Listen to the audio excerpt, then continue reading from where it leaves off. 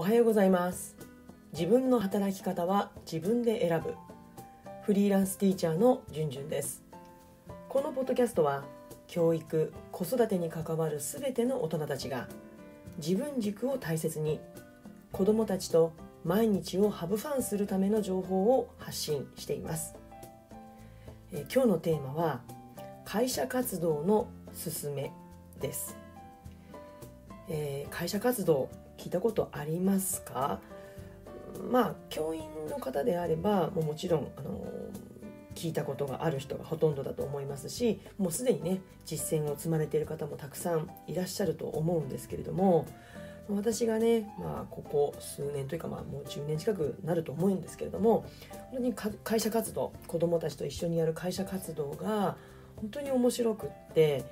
うん、おそらく私の学級経営の柱の一つになっています。うん、ですのでもうこれをまだやったことのない方がもしいらっしゃったら是非ねおすすめしたいなと思って今日はお話ししたいと思ってます。とは言ってもねもうね学期末ですからねもう,、うん、もう冬休みに入ってる方もいらっしゃると思うのでまあ3学期からでも可能なんですけれどもまあ新しい年からっていうことであれば、うん、無理せず新年度から取り組まれていってもいいんじゃないかなと思います。うんの会社活動って当番活動とねそれからあとは会社活動、まあ、係活動ってあの捉えている方もいらっしゃると思うんですけども私は会社という、まあ、一つのねなんかこうグループを作って子どもたちに、まあ、こう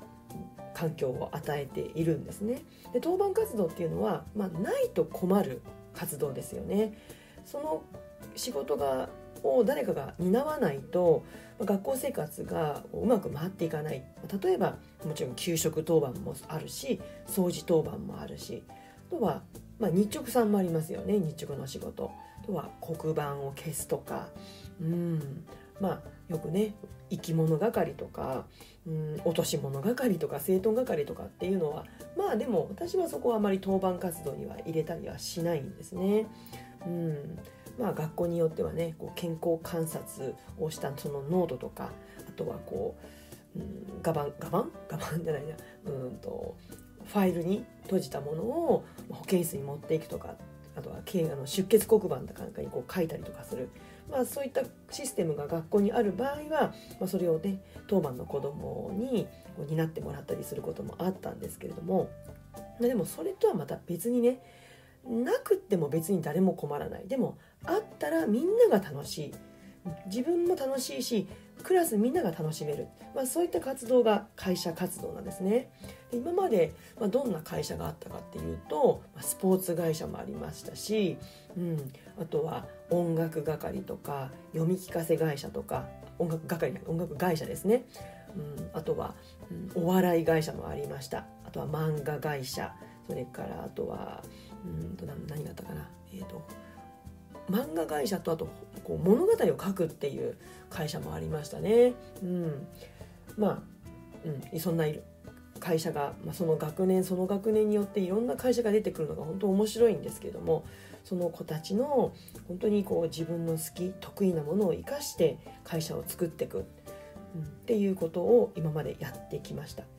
でまあ、そういった活動をやっていて、まあ、今ねこう文科省から本当にこうアルファベットがポンポンポンと並ぶようなこう PBL だとか STEAM だとかなんかこういろんなアルファベットが並ぶなんかそういう取り組みがあるじゃないですかでそういったことをねやってる方もいらっしゃると思うんですけども、まあ、でもねよくよくこう考えていくといやそれって昔からやってることだよねって言うといやいやちょっと違うんですよっていうふうに言われてしまうところもあるかもしれないけれどもでもやっぱりこう問題を自ら見つけてそれを解決していくとかね、うんまあ、そういったことって特にこう目新しいことではないなっていうことを、まあ、30年この世界にいると感じるんですよね。うん、だからそういった力を子どもたちにつけてあげたいだから、まあ、総合的な学習の時間もそうでしょうし探究だとか、まあ、そういったことで言葉は変わるかもしれないけれどもでも子どもたちにつけてあげたい力っていうのは昔とそれほど変わらないんじゃないかなって私は思います。で、まあ、ここずっと自分が取り組んでいる会社活動って、まあ、そういったことに大きく、うん、子どもたちの力を伸ばしている役割を担っているんだなってことをね特に感じるんですよね。うんね、だからこう各教科でそういった力をつけるってことももちろん大事なんですけれどもやっぱり子どもたちの好きとか得意を生かす生かせるっていう点ではこの会社活動って本当おすすめなんですよね。うん、やっぱりもう好きだからやるっていうのはあるじゃないですか。どうしても教科とかだとやらせてるっていうところ、まあ、そこからね子どもたちがこう追求していくっていうところに、うん、行くことももちろん可能だと思うんですけれどもやっぱりなかなか難しいところってあると思うんですよね。だからやっぱりこう子どもたちの一日の生活の中でそういった活動子どもたちが好きとか得意が活かせる活動を組み込んであげるっていうことってやっぱり子どもたちにとってはすごく楽しみな時間、まあ、実際子どもたちに「今日はこれがあるよ」会社活動あるよって言ってやっぱりこう喜ぶんですよね。で時間を忘れて取り組む。うん、でこの活動の本当にメリットあるなと思うのはやっ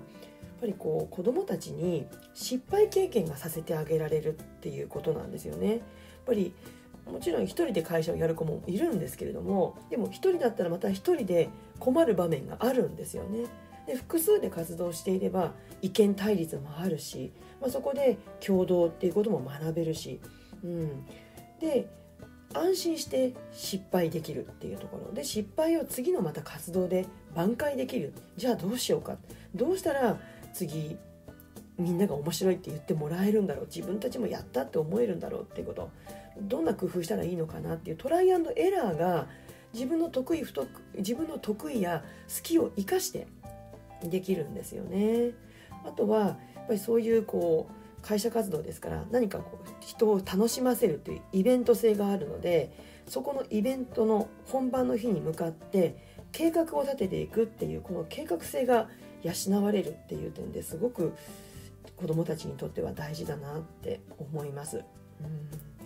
あの私過去のねブログの記事でもこの会社活動についてあの記事を書いているんです。でも、まあ、この取り組みはもう2年前3年前なのかなの活動になるので、また変わってるところもあるのでねもし今現在のね一緒に子どもたちとやっている活動にもし興味がある方がいらっしゃいましたら是非あの公式 LINE の方からあの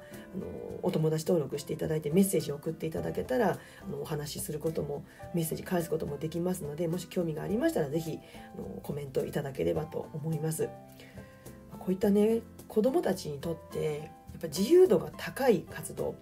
こう主導権を子どもたちに教師から子どもたちにこう譲り渡すっていうこと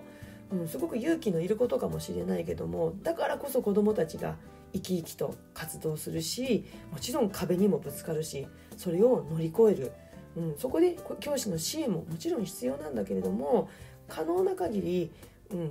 私は子どもたちに任せる。で必要な場面でここぞっていうところで手を貸してあげるっていうことを心がけています。ただこれにはやっぱり時間も必要ですし教師側の本当に忍耐なんですよね。うん、でも教師がそれをするからこそあこんな力が子どもたちにあるんだうわ自分にはできないな子供すごいなってことを本当心から感動することができる喜びを味わうこともできますので、うんまあ、教師が喜びを味わえるってことは子どもも同じように味わえるんですよね。ですので是非興味がある方がいたら新年度からでもいいですし3学期からちょこっとチャレンジしてみるってこともできると思うのでもし、ね、そういったことが質問がありましたら是非メッセージいただければと思います。この活動繰り返しになりますけども子どもたちの姿ねいいばっかりじゃないんですよ。いいことばっかりじゃありません。大変なこともいっぱいあります。でもそのうまくいかなさに光を当てることもできるしそれを乗り越えるっていうね醍醐味もあるので是非おすすめしたいと思って今日はお話をしました、えー、いかがでしたでしょうか？もしねあのこの内容に関するご感想ご意見お待ちしています。またね私学級経営や教師のメンタルヘルス働き方に関する悩み相談も受け付けていますので一人で悩まずにぜひ私でよければ声をかけてください。そういったメッセージやコメントは先ほどもお話ししました。LINE 公式から送っていただけると、チェックすることができますのでぜひお待ちしています。またインスタグラムも力を入れて情報発信していますのであの内容はこのポッドキャストや YouTube でお話ししている内容を画像と文字で端的に発信しています。ぜひチェックしてみてください。リンクも概要欄に貼ってあります。それでは次回のポッドキャスト YouTube まで。Let's have fun! バイバーイ!